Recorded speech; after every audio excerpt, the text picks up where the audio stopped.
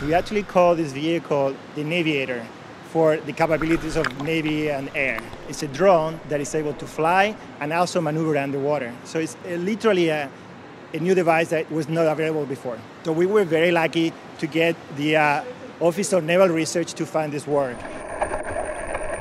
We usually never see vehicles that can do that can operate in multiple environments. We only see ones that operate in either air, water. This vehicle, you can actually take it in many environments. They have submarines that can launch things from the submarine and, and it pops out into the water and it goes, does some things, but it can't come back, right? It does one mission and one mission only.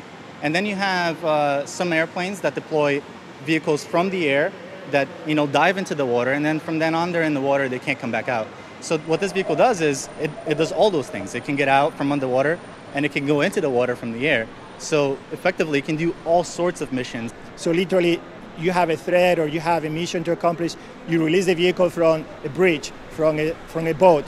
It travels some distance goes underwater does the job comes back. So it's rapid deployment i think is a key word in there. Oh, they have a number of applications that we've been talking about, bridge inspections. You can deploy from the bridge, goes underwater, investigates, um, you can make a decision, do I need to send a repairman or not? Another one is pollution. You know, you have an oil spill.